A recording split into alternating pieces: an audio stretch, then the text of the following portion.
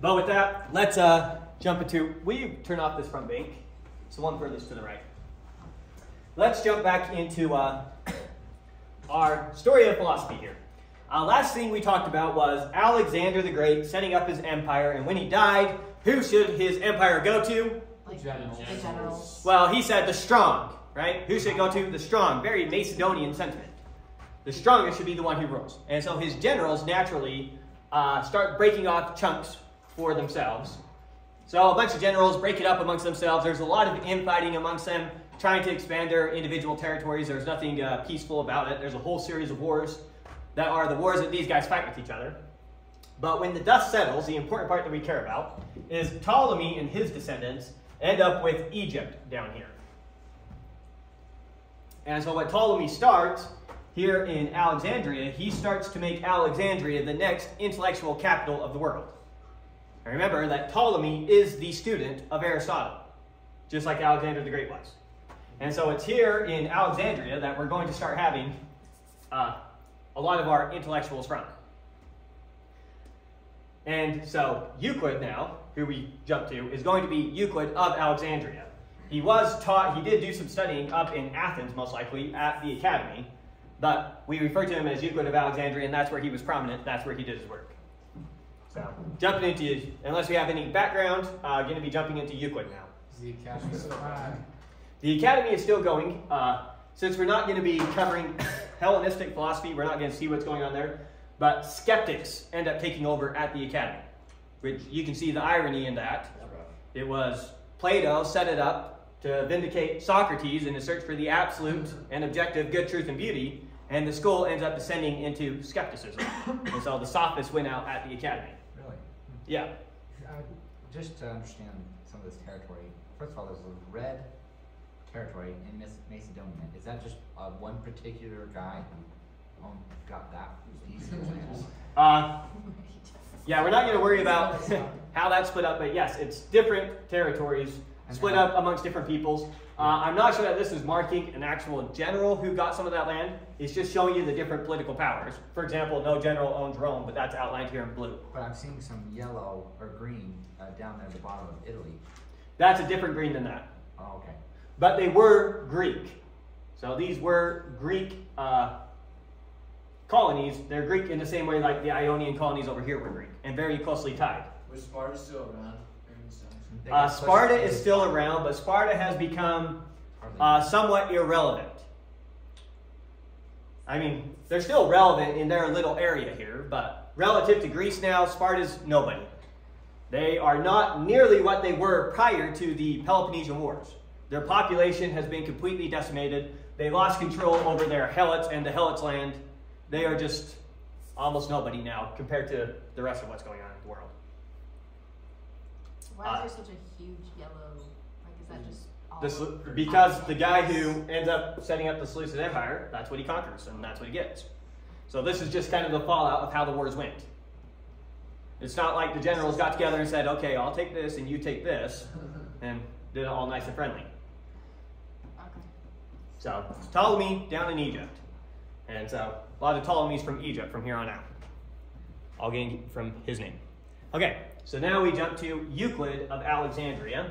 His dates are roughly 350 to 250 BC. Uh, we know shockingly little about his life. And so we have no clue what these dates are. These are just, he must have been somewhere around here or must have been somewhere around here. He could have lived 60 years, he could have lived 100 years. So these are very rough approximations. We know very little about.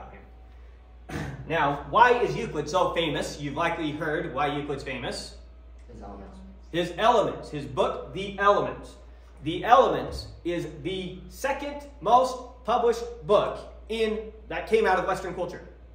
The only book that's been published more? Bible. The Bible. There's good historical evidence that it was a second book printed after the Bible at Gutenberg's printing press. Euclid's Elements. I cannot overstress how crucial this book is to Western society. And when it comes to actual academia, I mean, your three most influential books of all time, I think, would be Aristotle's Organon, Euclid's Elements, and Newton's Principia. Yeah. So this is, and if you made me pick which of those is the most important, it would be Euclid's Elements. So for what he did, shockingly little is known about him for how important what he did is. It's huge. And Euclid's Elements, it is the standard textbook used pretty much from the time he creates it up until late 1800s. In other words, Archimedes and Abraham Lincoln both studied Euclid's Elements. That's the only thing I knew. I, I my understanding he stopped campaigning and just went and studied Right. Euclid's elements for a real long time and then came back. Oh, you're talking about Abraham Lincoln? Yes. Okay, yes.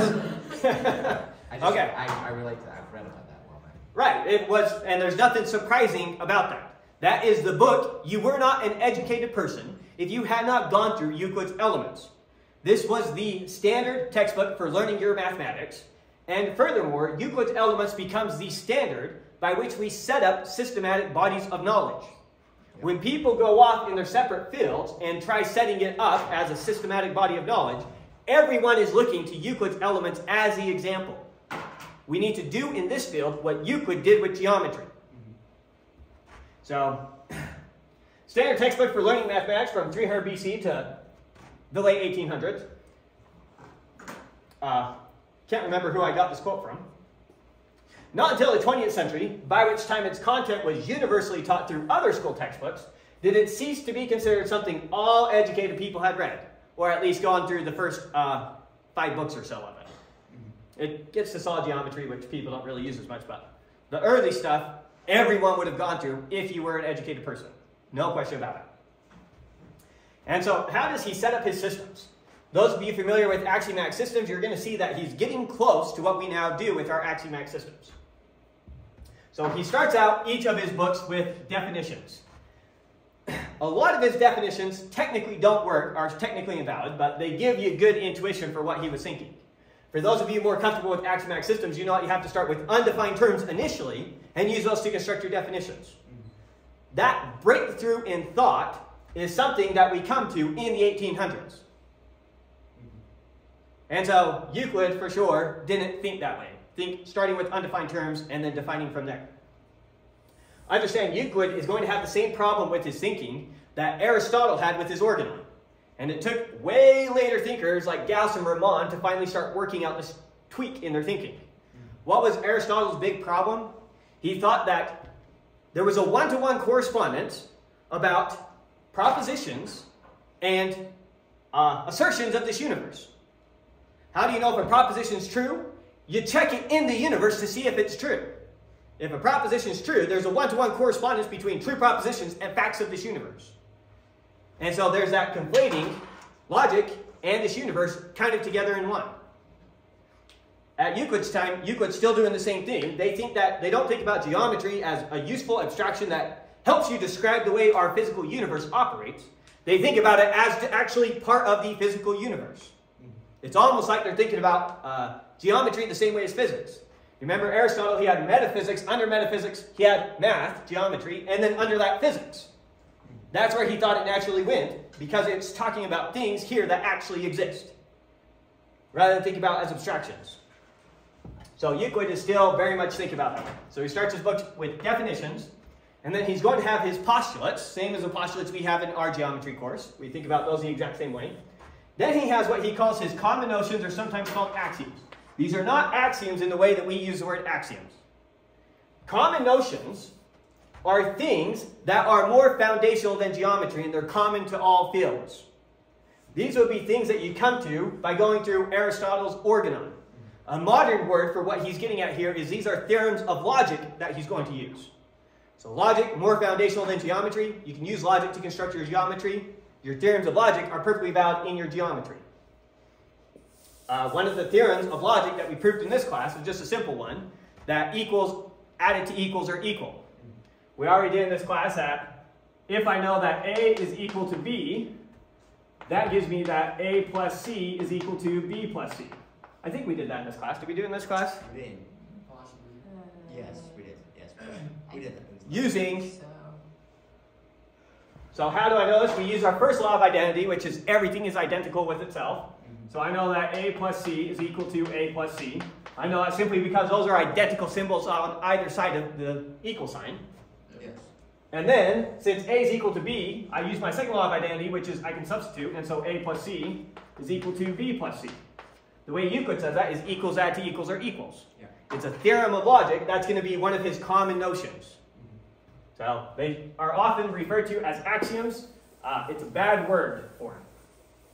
Be better to call them theorems of logic.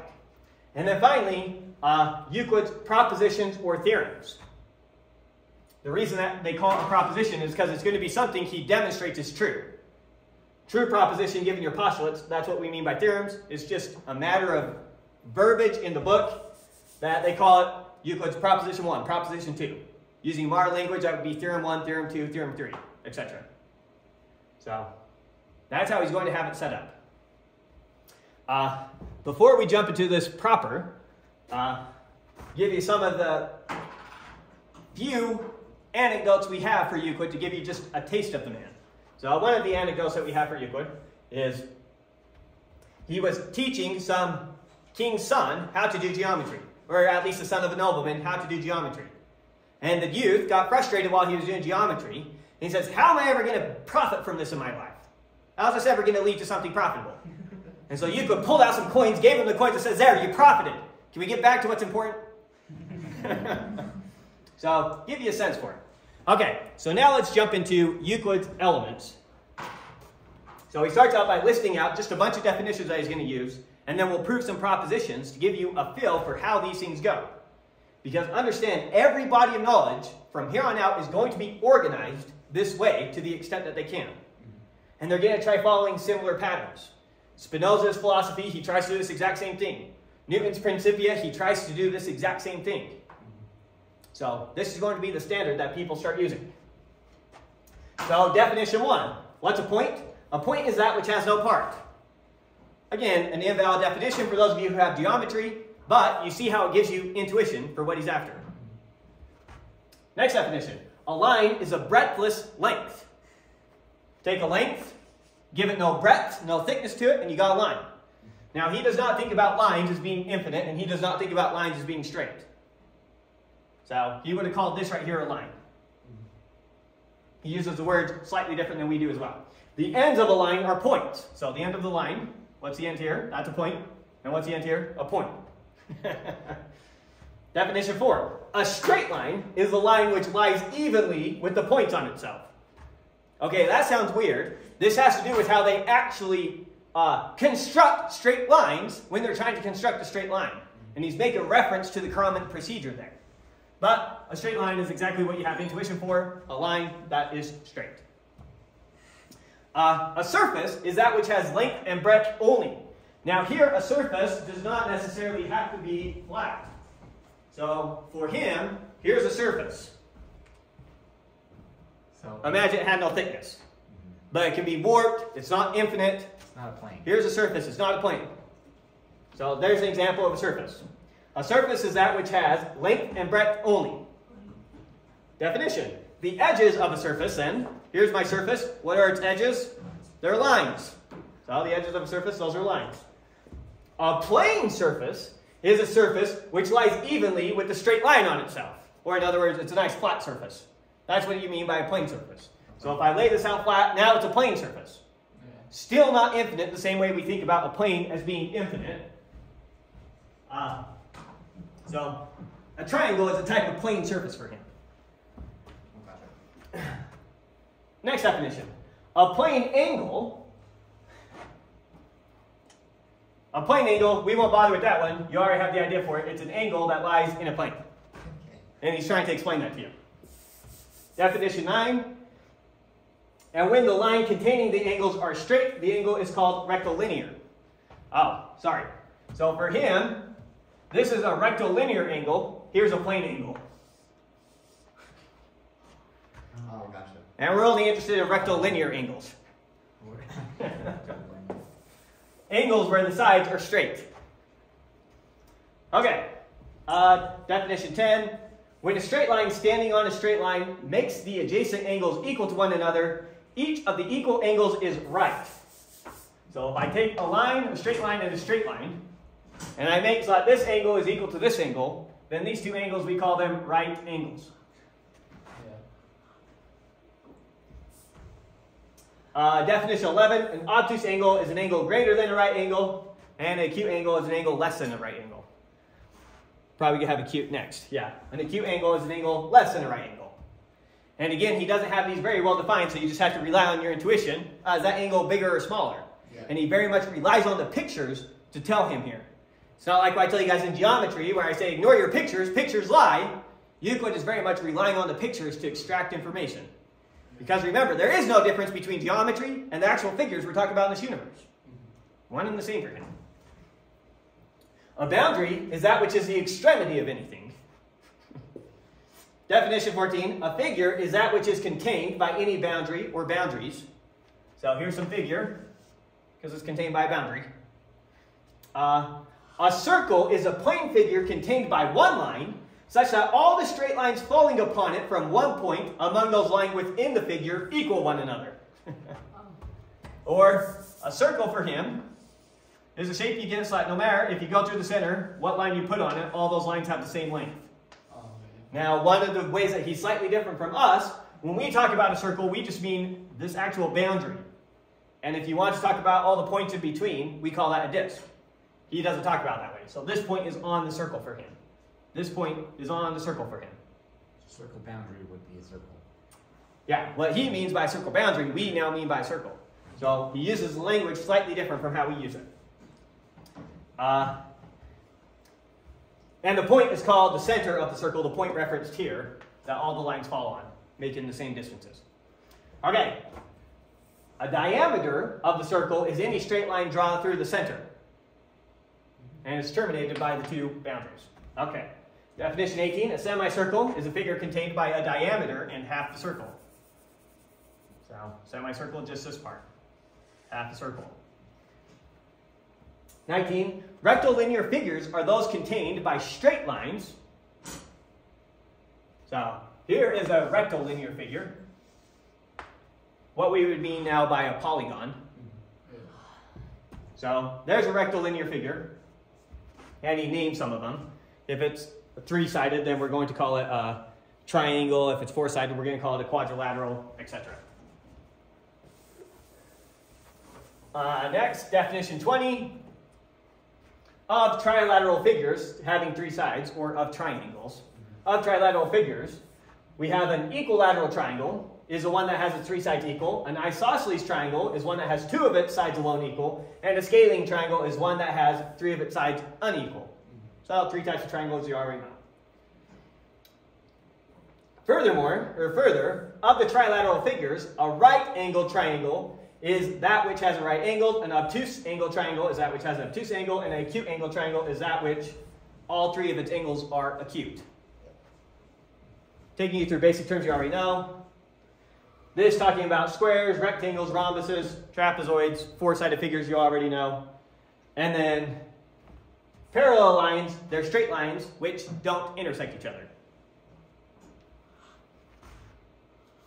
Okay, and with that, we are ready now to introduce his five postulates, the five assumptions that we're going to make. So, postulate one two points define a segment. What does that mean? That means if I give you any two points, then you can construct a segment containing those two points. I, um, sorry, I got tripped up. Will you go back to a second? On the last definition, parallel lines are straight lines in which being the same plane produce indefinitely both directions. Oh, okay. I, I just need to read the whole thing. Okay. So, first postulate a line segment, or given two points, we can construct a line containing those two points. I call it a line segment, he didn't call it that, he just called it a straight line. I'll start using more modern language. Next one any segment can be extended indefinitely. If I start with a line segment, I can make it longer if I want. You can extend a line segment as long as far as you want. Now notice that when you're doing geometric constructions, what are the two tools that you're given? Lines and points. No, the two. Have you ever seen someone actually constructing geometric figures? A straight edge. And they've got two. They have a compass A and a straight edge. What can you do with a compass? What is a compass? Make circles. Uh, Uh, don't have like a new It's approaching. I don't know. Usually you gotta do a book for a second. A straight edge is just like a ruler that's not marked, right? Yes. And what does it enable you to do? If I've got two points, what can I do with my straight edge? I can hold it up and I can connect those two points.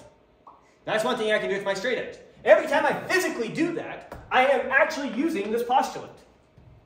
What's another thing I can do with my straight edge? I can say I want to make this line longer, so I hold up my straight edge there, and I extend it some using my straight edge. That's using this postulate every time I do that. His next postulate here is a point and a line segment define a circle. What does he mean by that? If I give you a point and a line segment, then this gives you a circle centered at one of those points. And this is what you'd be able to construct if you had a compass. So every time you draw a circle, you're really using postulate 3.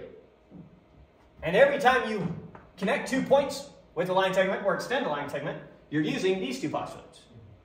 And so that's why you are allowed to use a straight edge and a compass in doing your Euclidean geometry. It's because behind the scenes, you're really using these postulates every time you use it. So that's why you use those two tools. Why is postulate two a postulate? It feels like it should be approved.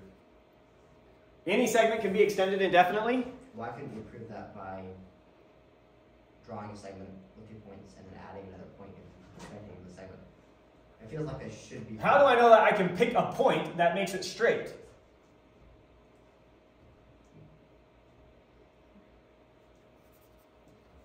You're going to need something that gives you that information.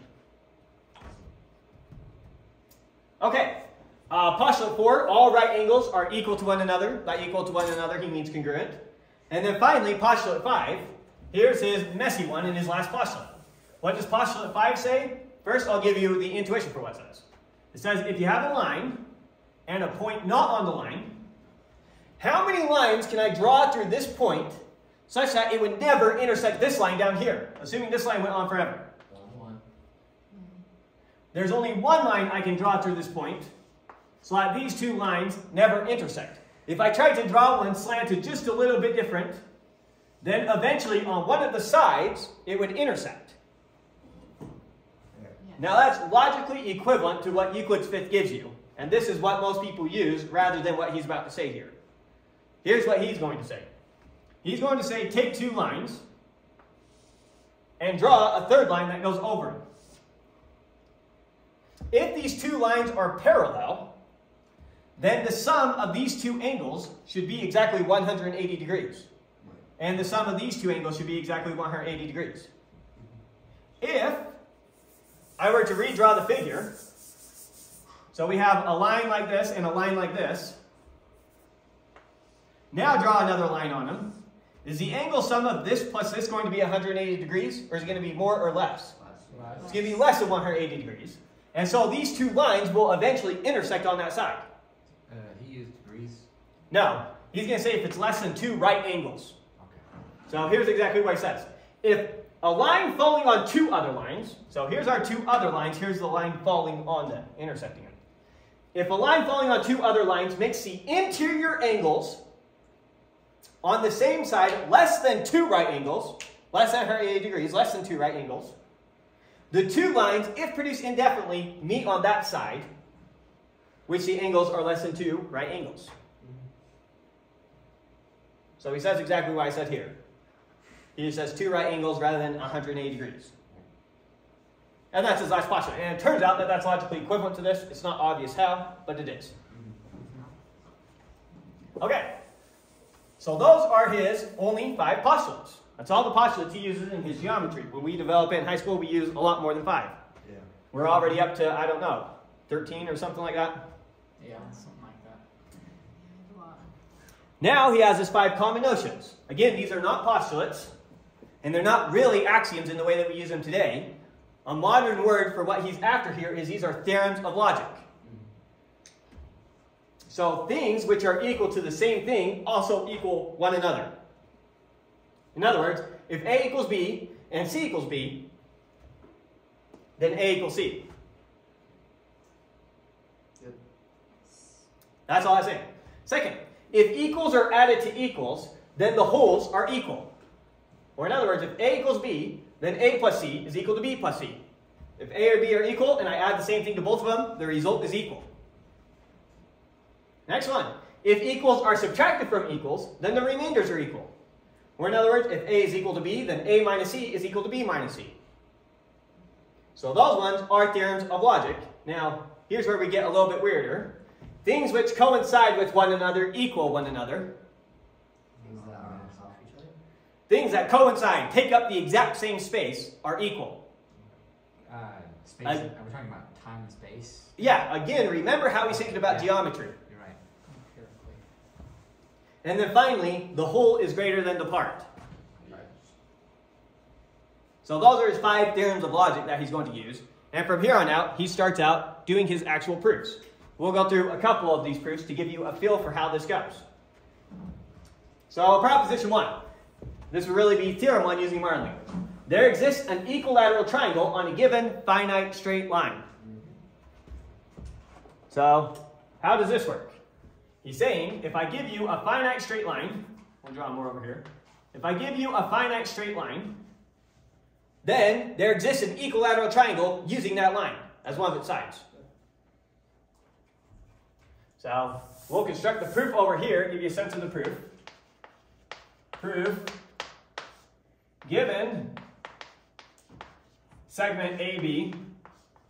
When you do two layers like that in geometry, it's understood that that's a segment whose starting point is A and whose ending point is B.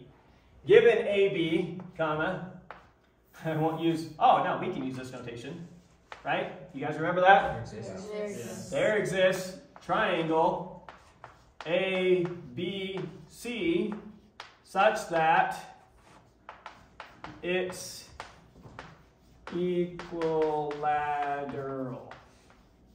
So we can construct a triangle using that segment that's equilateral. That's what we're going to prove. So number one, let segment AB be given. So if you want me to do this proof, you gotta start by giving me some segment AB, and now I construct the triangle from there. Okay, two. So here's our picture over here to help us think about it. So I have a segment there. Now, based off of our postulates, what do we know we can do with the segment? I can pretty much only do two things. I can use it to make a circle, or I can extend it and make it longer.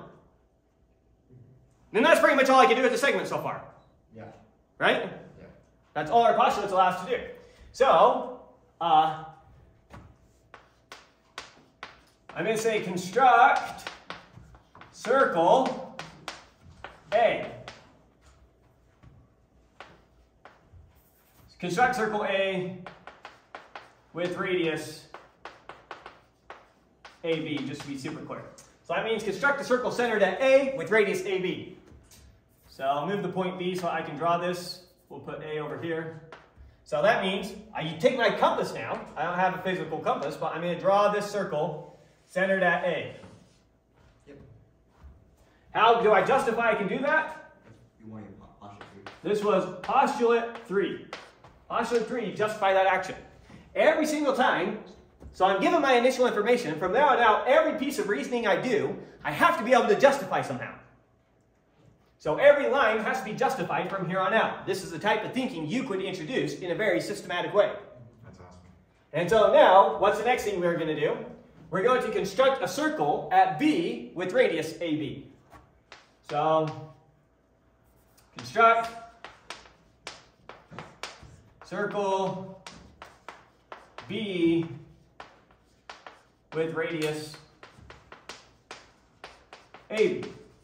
And once again, I justify that with uh, Postulate three. postulate 3.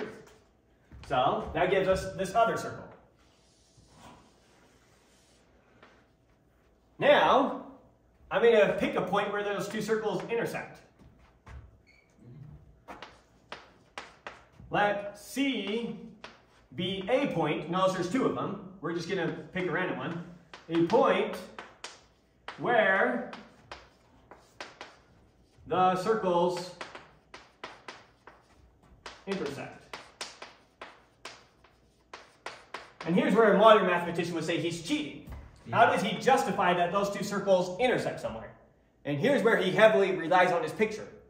And he thinks that's just obvious. So he skips lines of thinking that we would not skip today. Does it have to do with the assumption that there's a point, that there's a bunch of points on the circle or an infinite amount of points in existence? Because normally when he's talking about points, he's always talking about the ends of things. He could also, he's, what if you constructed two circles like that, but they just didn't have an intersection? Right, that's all he didn't Oh, justify, that is- and we have to carefully justify. I see. Okay, so now we've got that. So, five, observe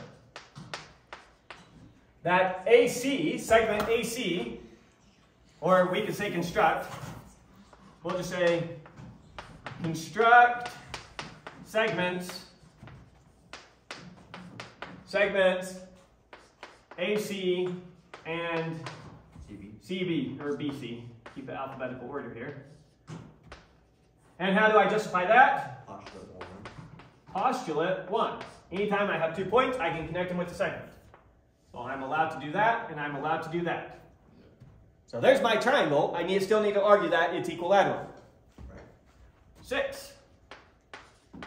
Observe that AC is congruent to, he would have said equal to. He meant equal to mean they're the same length. We now use congruent for that. AC is congruent to AB. How do I know that? That is from the definition of the circle, right. which he gave earlier. Definition of a circle was take a point and then take all the line segments of the same length you can construct from that point and fill it all out, and that would give you a circle. And that length he calls a radius. Oh, And C is right. on the radius of it. So, I'm guaranteed that AC is the same long as AB. Mm-hmm. Seven. Observe that BC is congruent to AB. How do I justify that? Definition of a circle. That's the radius. Yeah, same radius. They're both radiuses of the same circle, and so that's the definition of a circle. These lines are both radiuses of the circle centered at B. So I know that this is the same length as this, and I know this is the same length as this. What remains to show is that AC is the same length as BC. How do I know that? Because of identity. Equals R equals R equals. That is our first common notion. If A equals B and C equals B, then A equals C. Things equal to the same thing are equal to each other. And so, can kind of spell that out. Since I know that BC is congruent to AB, since BC is congruent to AB, and AC is congruent to AB, AC is congruent to AB, then I get BC is congruent to AC. BC is congruent to AC. And that was by what's referred to as axiom 1, even though it's not an axiom. Right. Or common notion 1. So finally 9, therefore, triangle ABC is equilateral. And we're done. Square box at the end means, and thus it is demonstrated, our proof is finished. And so that's how that would go. And notice that outside of some nitpicking things, like arguing that those two circles actually intersect, every single line is somehow justified. Right. And that nitpicking stuff didn't get improved upon for almost 2,000 years. Was he this rigorous? This is about as rigorous as he was. Uh, yeah, it's pretty much straight to the That's awesome. Okay, so let's do the second one. If I remember right, the second one's kind of messy. So I don't know if I can write out every step here. We'll see. We'll see. My worry is it might be like a 15 line proof. You got a marker board. Yeah. Got a what? You have a marker board. You could. Blackboard? Move over. Chalkboard's fine. You need right yes. Yeah, it's just a projector. We're not using the projector that much. I should have thought about it. The projector glares off of that board, but it helps a lot to have different colors. I should have thought about that and set up over there. Uh, we, we don't really need the projector again. I can just look at it and tell you, so you know what? We'll just do it. I think it's a good idea. And that way we can use uh, different colors, which will help with the proofs. So I'm just gonna turn that off and move over here. Move that. Still get a little bit of glare from the lights, but not as bad. You want the front mic on? Uh, you could try that, see if that helps with the glare. That covers up that. And Turn it on. just don't let me go past here, and I think we're good. Ooh, that marker's kind of bad. Okay. Sorry done that. Okay, so the second proof is uh, there is a segment equal to a given segment with one end at a given point. Okay, so here's this one. This one is if I give you some segment here, AB, and I give you some point not on AB, we'll call it point C, then I can construct a segment here the same length as this. And again, think about this very physically. You've got some object that you've constructed a certain distance, and you want to go somewhere else and construct something the exact same long. We've got a compass and straight edge. How on earth are we going to do this? You can, well, Measure. You can't measure. There's no notion of measuring. not yet. This is the one that's going to enable us to kind of use a compass as a memory and pick it up and move it wherever we want. So I need to use that to argue now I can come over here and construct a segment CD where this is as long as that. How do I know I can do that? I need to justify that somehow. Just look at the picture. It's not that hard. Okay, so I'll keep in red our starting information. Is there only red and blue? Um, It might be. yeah, probably. Here's the way that this proof is going to work. First off, what did the previous, previous proof give me? So maybe we'll write uh, our thinking here as we go. Previous proof gave you that you can construct a So-. Uh, proof given AB, comma, given AB and C not in AB, so to point not on the segment AB. Comma, there exists D such that CD is congruent to AB. So I can find some point D such that the segment CD is now the same long as this. That's what I need to argue. So one, let AB and C be given. Okay, so we start out there. Now what can we do? First thing I'm going to do is I'm going to construct segment AC. Right there. Yeah. Once I do that, I'm going to construct now an equilateral triangle using this segment. How do I know I can do that? The previous proof. Yeah. It's like I insert all the lines from my previous proof and stick them right there. But rather than copy pasting my proofs, I just reference the proof. And now it's understood if you don't remember how to do that construction, go back to the previous proof and follow the steps. And that tells you how. So we don't have to repeat ourselves over and over again. So from the previous one, I know how to construct some equilateral triangle using that as my segment. We're going to reserve point D for the end of this segment, so I'm going to call this point E. With me? Now, since this is an equilateral triangle, I know that this length is the same big as this length, is the same big as this length. Yep. Right? Now, I wonder if I have some markers in here. Yes, I do. All right, uh, green and purple. Unfortunately, I had red and blue. Okay, next thing I'm going to do is I'm going to come to A and I'm going to construct a circle using AB. Okay. Okay. So uh, I'm only going to draw a piece of it because we don't care about the whole circle. So I'm only going to draw the piece that we actually care about.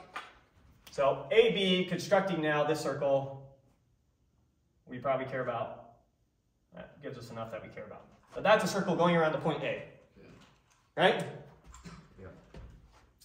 Now, I'm going to come to this line segment, or this one, doesn't matter, just pick one of these. I'm going to take this segment here from E, we'll do from E, and I'm going to extend it until it hits that circle. So I'm going to come and I'm going to extend this segment until it hits this circle. At what point are we at now? F. You with me? Yes. And now notice that this distance is going to be the same big as this distance. Yep. Right? Close of the circle. Yeah.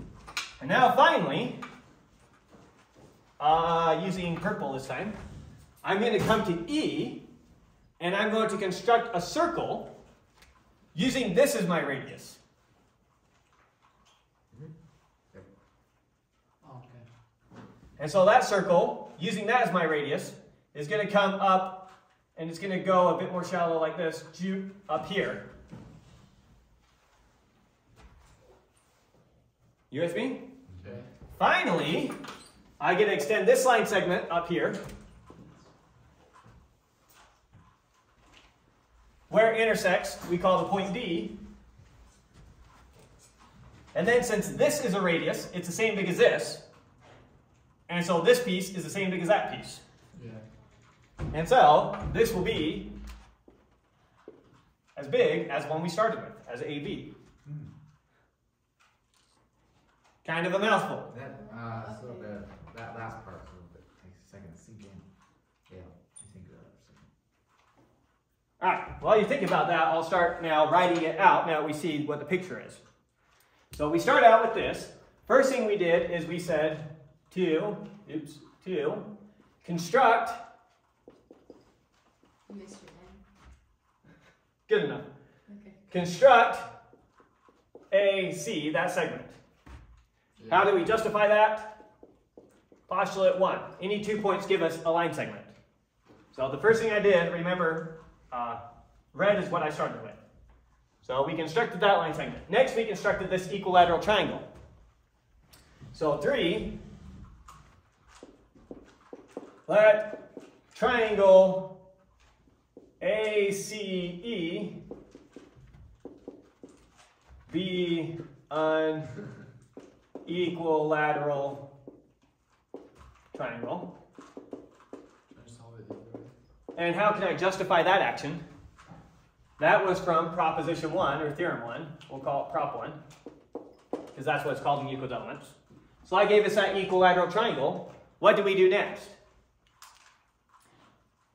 We constructed a circle centered at A. Yeah. That was the green line. So four, construct circle at A with AB, meaning use that as its radius. Mm-hmm. How am I justified in doing that? Postulate three. So I gave us the green circle. Then I extended EA until it intersected the circle at line F, Did you go through postulate two? which I can do with postulate 2. So, 5, extend EA until it intersects circle A at some point, and we'll call the point where it intersects F. Mm-hmm.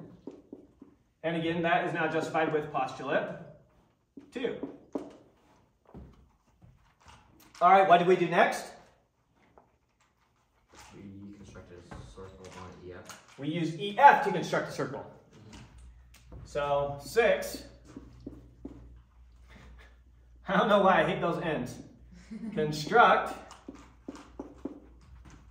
circle at, what was the center at? E with, what was its radius? EF. EF. And that is justified by postulate 3. Okay, so that got us that circle. Now I need to extend this line until it hits that new circle at F. 7. Extend uh, EC ECCE, same thing. Extend EC until it intersects. You typically uh, name a circle by the point it's at the center of. So this purple circle is circle E. And we don't have to worry about being too specific since there's only one circle centered at E and only one circle centered at A. So we have circle A and circle E. Well, Yeah. two circles. You can't have, you can't have two different circles centered at the same point. Yeah, you can. There's a circle, there's a circle, centered at that point. But since we don't have that, then the center uniquely identifies it. Okay.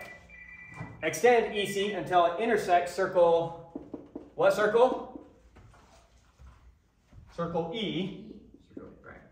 at point C. D. So D is where they intersect. How am I justified in doing that? Again, postulate two, the one that says we can extend line segments. Uh-huh. And now we've got our picture. Now I just need to argue our uh, side lengths are the same. So 8 observe that what are we going to observe are congruent first. First, let's note that AF and AB are congruent. Observe that AB is congruent to AF, and that is by definition of a circle. Because they're both radiuses of the same circle. Right? And now observe that EF is congruent to ED, definition of a circle. Observe that EF is congruent to ED. Again, that's by definition of a circle. What was next? I need to argue that CD is the same big as AF. So I know that ED is congruent to EF. I know that EC is congruent to EA. Uh-huh. And therefore, this piece is congruent to that piece. Do you have to Equals subtracted from equals are equals. Do you have to spell that out into it? In yes. So 10. Since so since I have that ED is congruent to EF and EC is congruent to EA, then their individual part CD is congruent to AF. CD is congruent to AF. How do I know that? Equals subtracted from equals are equal. I think that that was axiom three. That's what, yeah, what are your combinations? One of your common notions using common notion three. So that's how we justify that this is the same length as that. And we know that this is the same length as that, so now we need to say this is the same length as that. So 11. Then CD is congruent to AB, and we know that by common notion 1, axiom 1, common notion 1, which said two things equal to the same thing are equal to each other. And that's it. That's what we were after. So I constructed a segment CD congruent to AB. Or equal to. He would have said equal. He to. would have said equal to, we now mean congruent. He didn't think about equals as uh, strictly as we do now. When we say two things are equal, we mean that they are identical with each other. Right. When they use equals, you have to infer from context what they mean. Sometimes they mean equal length, sometimes they mean equal area, etc. Yep. Okay, that's the last one we'll write out all the way. From here on out, I'll just give you a sense for how it keeps on building. And I'll just give you the picture. We won't bother writing it out. But it gets a lot easier for the next few proofs from here on out. So let's do another one. And then after that, we'll keep doing as many as you guys want until you get bored. It's, uh, With this number. oh, we have time. Okay, so proposition three. It is possible to cut off from the greater of two given unequal segments a segment equal to the lesser. Okay. Okay, so I've got two segments here. It's pretty simple. AB, and I've got segment CD. All I know is that these two segments are not equal to each other. He's saying I can find a point on this segment such that it gives me a segment congruent to that. Oh, okay. Okay, so there's our start, and then I'll fill in with blue what we're doing. So we start with this picture. These aren't necessarily parallel or anything like that. Using this proof, I know that I can, from C, find a point such that this segment is congruent to this. Yes. That's using this proof. Yeah. Now, I go to C, and I construct a circle using this length, Yep. which gives me this point. Then now this is going to be congruent to that. So CF is now congruent to AB, where F is a point on the segment. So that one's much easier. Okay, that's good. Yeah. Make sense? So there's a picture for that. We'll move on to the next one. If two triangles have two sides equal to two sides respectively, and have their angle contained by the equal and have the angle contained by the equal sides equal, then they also have the base equal to the base. The triangle equals a triangle, and the remaining angles equal the remaining angles respectively, namely those opposite the equal sides. Okay, what's he saying? He's saying here's your side angle side for two triangles being congruent. So take two triangles. Yeah, and you're going to see it has a very unsatisfying proof using doing it the Euclid way. so we've got these two triangles. What do I know about these two triangles? We'll call that A, B, C, and we'll call this D, E, F. We've got these two triangles, and what I know about these two triangles is that this side length is congruent to this side length. Okay. This side length is congruent to this side length. And this angle is congruent to this angle. He hasn't even talked about angles yet. Uh, he defined angles. As what? Yeah, like the weird looking angles and Yeah. normal angles. Oh, What exactly his definition is, they're not very satisfying definitions. Yeah. So how does uh, Euclid think about doing this? Well, first thing we're going to do is we're going to come and we're going to take this point B and we're going to stick it over here on E. So this is both going to be the point E and B. Now, since this segment is the same length as this segment, I can line it up so that A lands exactly on D. Oh, and this is like axiom four. Yes. Yeah, your. And then, since this side length is, this, or since this angle is the same big as this angle, then this side segment will come and land exactly on this segment. And then since this segment's length is the same as that segment's length, then C will come land exactly on F. And since things which coincide are equal, these two things are equal. Very unsatisfying uh, proof. And we basically have to introduce side angle side as a postulate in geometry now. Yeah. We'd be good if we just explain it rather than write out every single step. Yeah, that one I won't try writing down the steps for. It's very unsatisfying. I don't like. It's basically just move it over and see they both land on each other. You want steps? No, I. No, I Get the don't picture, like guys. rigorous.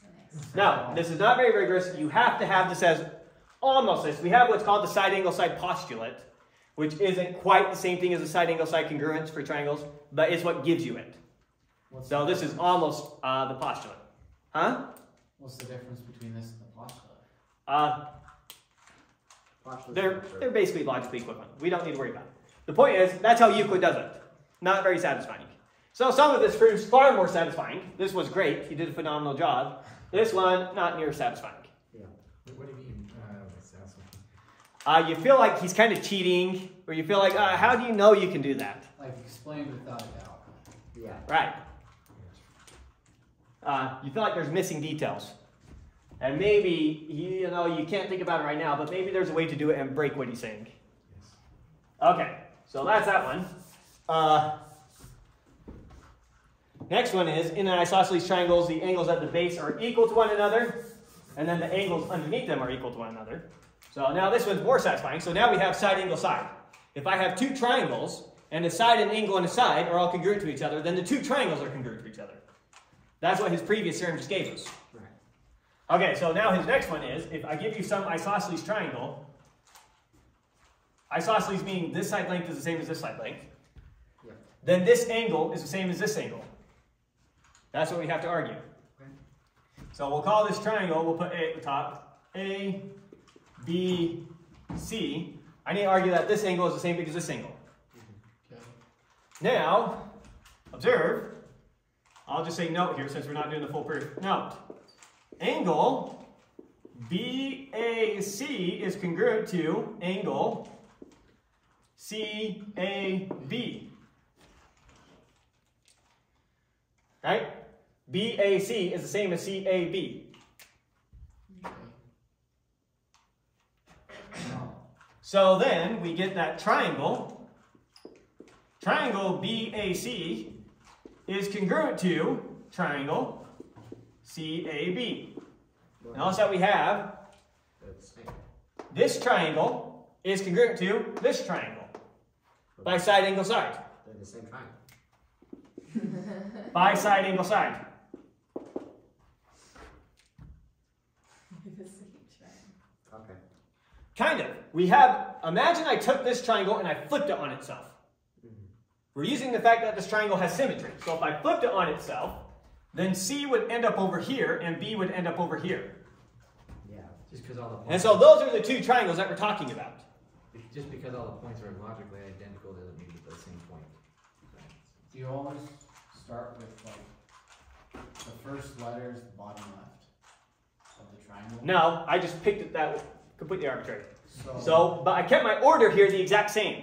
Well, isn't that BAC, triangle BAC. So we're looking at BAC is congruent to triangle CAB. This is stuff So- Or Always has to CAB if we're looking at red. And the bottom. Huh? That's why I learned in the group theory. Group theory teaches this stuff a lot. Really? A uh, lot of overlap with, well, I see what you're saying. Yeah. So notice that we've got this triangle and then this triangle flipped on itself. And it lands exactly on itself. So this angle, when you flip it, lands exactly on this angle. That's the point, is we're trying to say that those two angles are congruent. So triangle BAC is congruent to triangle CAB by side angle side, which means that angle B is congruent to angle C. Angle A is congruent to angle A, and angle C is congruent to angle B. Okay. So then, that gives us that angle B is congruent to angle C. Angle A is congruent to angle A. And angle C is congruent to angle B. So the order that you list those out there matters. So these are congruent by side angle side because BA is the same as CA, angle A is the same as angle A, and angle AC is the same as angle AB or sorry, side AC is the same as side AB. And so then there's a correspondence between all their angles. Yeah, that makes sense. Okay, want to continue with some more of these? Yes. Another one? Yeah, there's that. Yeah, I read the book. Well, I'm also going to do a little bit of algebraic ones after this. There's the elements. Let's let's jump forward to the algebraic ones, and then we can come back and do more of these if you want. Because there is a natural question in all of this, which is we've already talked about it, which is the Greeks went crazy with geometry. Why not algebra? And we already talked a little bit about why that was the case. If I give you some square where this has side length one unit, whatever your unit is, what is the length of this side in terms of units? It is the square root of one. It's a square root of two, which it turns out, for, according to the Greeks, is not a number since it's irrational.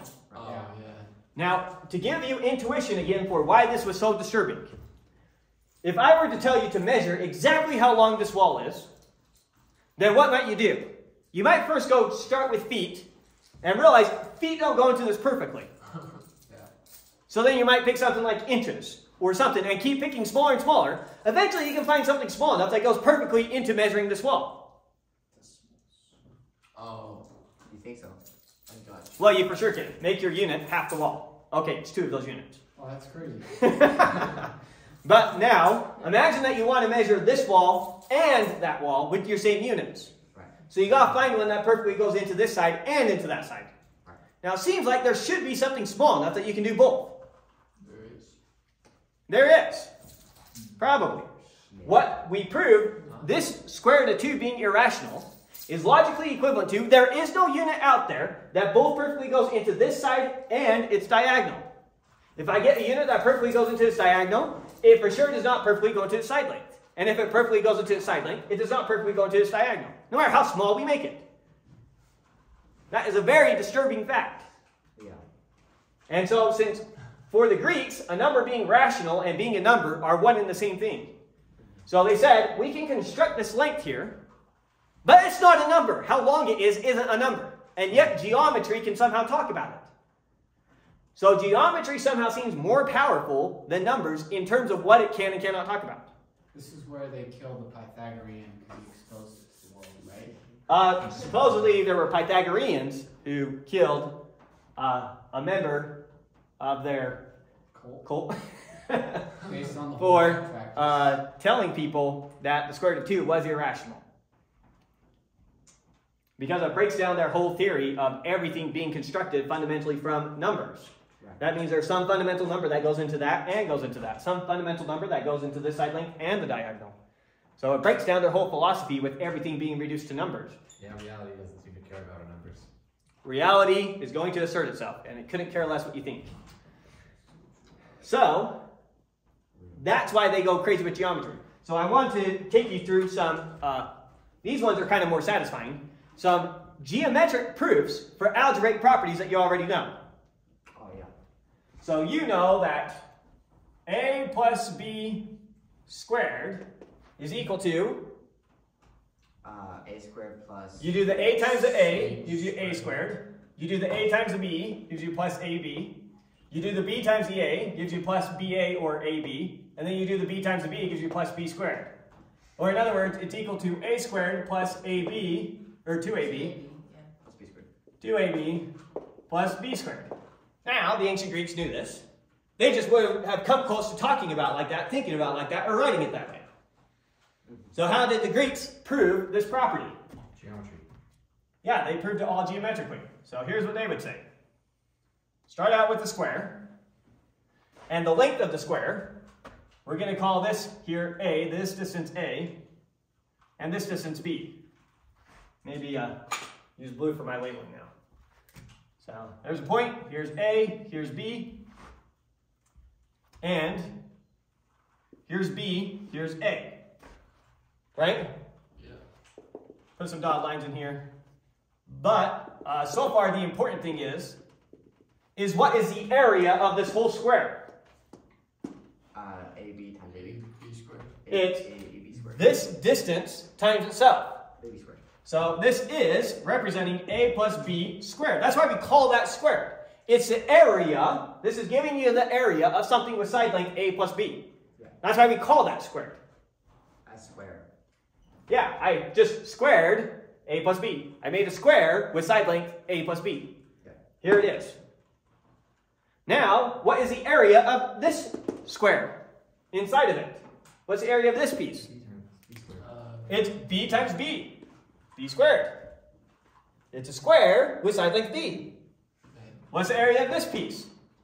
A- Length times width. AB. plus. Oh, It's b times a. ab. Length times width. AB squared plus A squared. Sorry. What's the area of this rectangle right here? Same ab. a times b. Length times width. And what's the area of this square up here? C squared. A squared. a squared. A times a. You clear switch up there. That is the one you This is. Glad you get And so a plus b squared is equal to, we have a square of side length a, we have two rectangles with length and width ab, and then we have a square of side length b. And that's how they proved it. Giving you just a picture. Very satisfying. Uh, Reminds me of the, uh, in calculus trying to learn how to scale using a formula. Just kind of gives me some flashbacks. to that. BTS is using calculus. Uh, let's try another one. What's another common algebraic property that we use? Another common one is you do Quadratic formula. a plus. Oh, we can't do.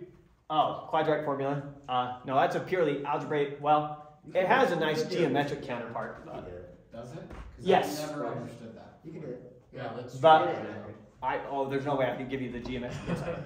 But it does have a satisfying one. But let's look at a plus b times a minus b. What does that equal? That is. From algebra, you do the a times the a gives you a squared. You do the a times the b, gives you a plus ab. You do the a times the negative b, gives you minus ab. Yeah, it cancels out. And then you do the b times the negative b, gives you minus b squared. Oh, yeah. Right? Or in other words, it's equal to a squared, those two cancel out, minus b squared. Okay. How would the Greeks have done this? Again, they would have come, drawn our picture here.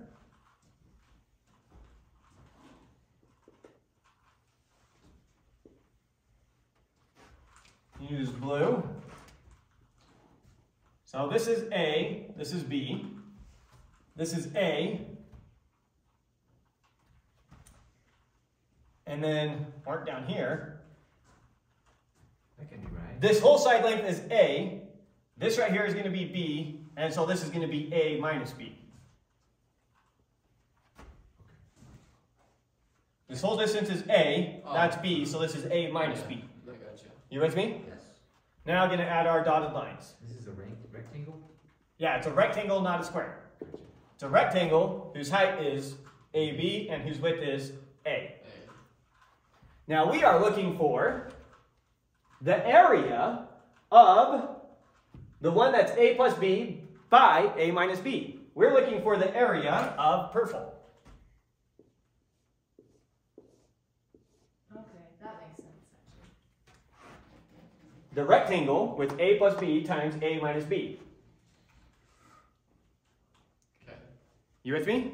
Mm-hmm. Subtract Okay. B, subtract B squared. So first off, let's get this square. You with me? yes. So I'm going to start with this square. Yep. So that is going to be a squared. But so far we've overcounted. We grabbed this area which we didn't want. Right. So minus off that AB. And so now, so far we've got this purple right here. Yeah. Now we need to come up and get this purple up here. Nice. So you plus Uh, AB. B is subtract B. Well. That wouldn't work. So you plus A. Oh, it's, So you it's plus A A. minus What did I do wrong? You just something. you did wrong. minus AB instead of plus AB uh, steps. You just went a step ahead.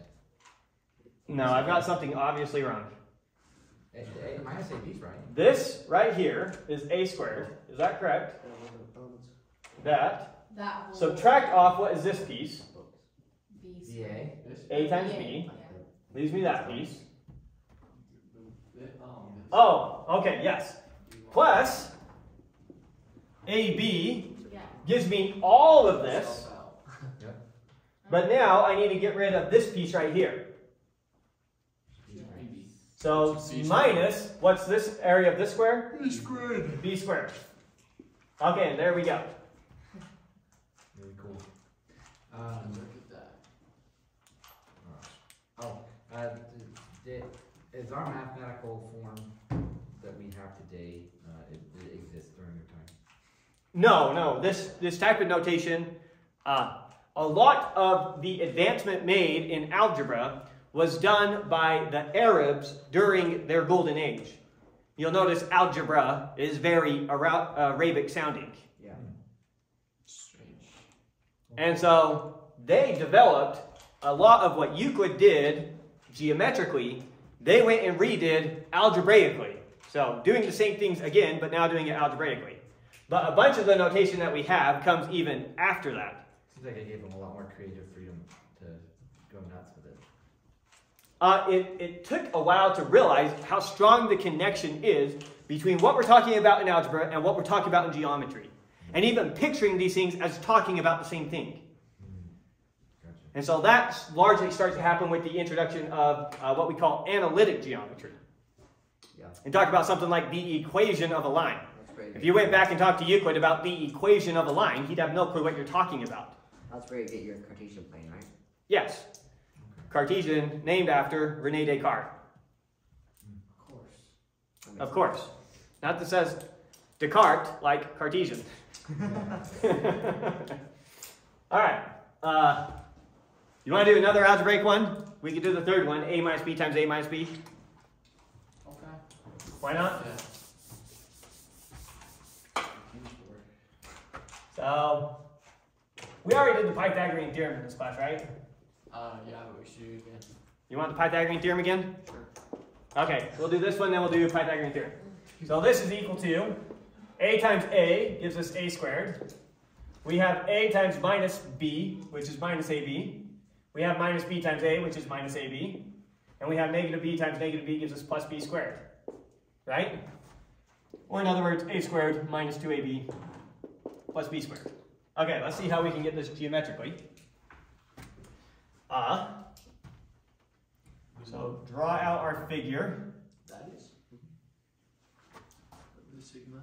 That makes the Pythagorean theorem. Okay, so I'm going to draw this square so that we have side lengths A. I can't read right now. So this is side length A, this is side length A. Going to mark this point over here. Going to call this distance B, and so this distance is A minus B. And I'll probably want to do the same thing over here. Sorry, kind of making this up as I go, so I hope it comes out nicely. All right, now let's add all our dotted lines and see what we can figure out.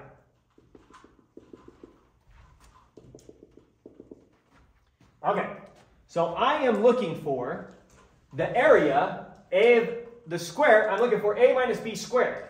So the area we care about is this area. That is a minus b squared. Yes.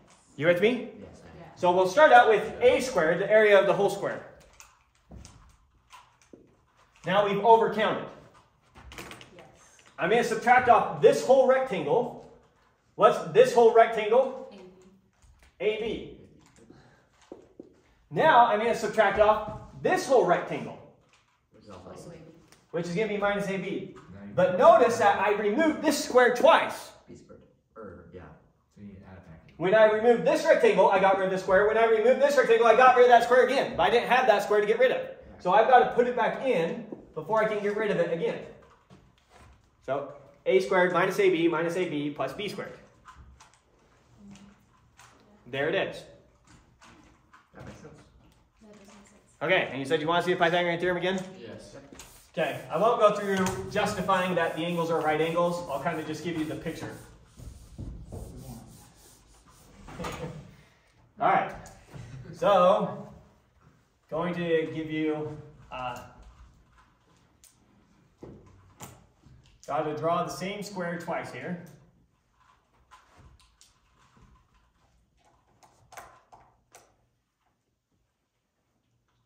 Supposed to be the same square. All right, It's mark off. It's A, B, pictures lie. A. B. So there's one way that we'll mark it off. And then the other way that I want to mark it off is going to be like this. We're going to mark it off.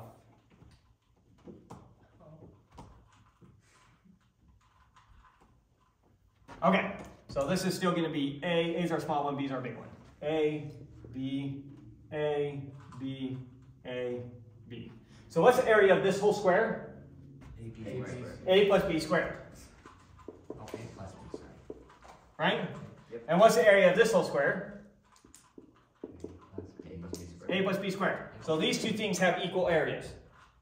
Okay, what is the area of this square? We've already done that. That's, this piece here is A squared, this piece is B squared, this is AB, and this is AB. So add up all those areas. This is going to be A squared plus 2AB plus B squared, right? Now let's look at the areas of this thing. So I told you that what I'm not going to argue is that these are in fact right angles. So that this inner shape is in fact a square. It's not hard to argue that. All these, no, it's not, just takes a little bit of time. All these triangles are all congruent to each other by side angle side, because that's a right angle, side side, right angle, side side. Yeah. So this side length is the same big as this side length, is the same big as this side length, is the same big as this side length. Call that side length C. So what's our total area here? First off, of this inner square, we'll do the area of this one in blue, so we don't get confused by the purple. The inner square is C squared. What's the area of one of these triangles? One half A times B. half the base times the height. So I'm left with c squared plus I have half the base times the height four times. So I have 4 times 1 half the base times the height. Or we'll do 1 half AB just right in alphabetical order. Right? Yep. What's 4 times 1 half? Uh, 2. So this is equal to c squared plus 2ab. And this is a squared plus 2ab plus b squared. Forgot the square. You just forgot the square for C. Thank you. And now equals subtracted from equals are equals. So a squared plus b squared equals c squared. So the area of that square plus the area of that square perfectly equals the area of that square. and that square is constructed on the hy- hypotenuse of the of a triangle. of a Right. rectangle. So uh, just seeing it from the picture here, notice that b squared, I can come and write, I can construct that square right here. So here's b squared, and I can construct a squared right here. So now this is a squared. And so if you construct a right triangle, make a square on that side, square on that side, square on that side, the area of this square plus area of that square perfectly equals the area of that square. Yep. Another way of saying the Pythagorean theorem. I get ya. So a squared plus b squared equals c squared. So there's a Pythagorean theorem. Uh, There's a picture. So I think that gives you a good taste of geometry here and how it continues. He proves all these theorems just from his five postulates. And so jump fast forward uh, almost 2,000 years to Newton. And Newton is repeating the same process, but now he's going to do the same thing for physics. And except for what are his postulates going to be? Gravity. We call them Newton's laws of motion. Those are his postulates. And so he starts with his three postulates of motion, if you want to include gravity, his law of gravity. And he's doing exactly what Euclid's doing in his elements. He's saying, let's take those as postulates, and if these are true, what else can we deduce? What else can we discover? Yeah. So that's how it continues out. So Euclid's elements, phenomenal work, completely changes the way that we start setting up systematic bodies of knowledge. It's amazing what Euclid did. Should probably add one um, qualifier here. While Euclid put together the elements, um, odds are the vast majority of what's proven in there he did not himself prove. Yes.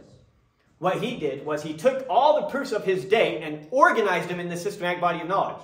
So from these five postulates, you're able to deduce everything else. That's what he did that was so amazing, is the way he organized it. And he probably had to come up with a couple of proofs himself along the way. That's so. But it's largely just organizing it all on basically Aristotle's system now for how systematic bodies of knowledge should be set up. Aristotle says, here's the system, here's how it should go. Euclid says, I'm going to go do that with math now. Here we go. Uh, And Newton's the one that eventually comes along and says, I'm going to do that with physics now. Here we go. so how, how far apart was Aristotle and Euclid in the time range? Uh, Aristotle, since our years on Euclid aren't known very definitively, but it's going to be that uh, Euclid most likely knew people who knew Aristotle. Okay. And I imagine Aristotle was the inspiration for uh, a lot of this work. Well, it's not like uh, Euclid's going to say, I'm so inspired by Aristotle. It's that what's going on now in Alexandria is carrying on the Aristotelian way of thinking about the world and organizing the world. Actually, we're going to start collecting facts of this universe, and we're going to start by reasoning on those facts and see what we can deduce from those facts. See, for Euclid, his postulates that he has, those are things that you inductively reason to by looking at our universe. If you were to ask Euclid, how do you know that anytime you have two points, you can connect it with a line segment? He wouldn't say, well, that's just a postulate and we're just going to continue with it. He would have said, uh, give me any two, try it. I was able to do it with that one. Try again. I was able to do it with that one. They're inductively reasoning to these premises because they think geometry is telling them about the universe. Yeah. So still a bit mistaken, but it's that same system of thought. Starting with the basic facts and inductively reasoning on those two premises and then applying logic to it to come to conclusions. That's that's actually huge. It is huge. Yeah. It's amazing. So, I like so far, the big products of philosophy. Unfortunately, philosophy jumps off the deep end. Yeah, well, that's personal interpretation. Yeah, Get all over the place with that. it's the only interpretations I've got. All right, uh, any other questions? Do we have a recap of everything we've done so far? Now, our recap of Aristotle was already the recap of everything important we've done so far. Okay. And now Euclid. Oh. Yeah, so Who comes after Euclid? we'll now switch to logic. Uh, what I was planning on doing after Euclid, uh, I was torn. I was either going to start with the Hellenistic philosophers, Or Nietzsche's. No. or uh, do uh, the crash course on Rome up to the point we're talking about. Yes. Uh, And I thought that that would have been a lot of history back to back, so I was debating there, maybe put Rome off for a That would second. be awesome. Yeah, it would have been awesome. It would have been ton of fun. But it would have been a lot of work For for me. For you. You can do the review, and I'll show up. Are you using the same logic textbook you always use for this? Yes, I'll be using that same logic textbook that I always use for the logic course. I think this is the end of this course, so we can turn this off. Uh, who owns the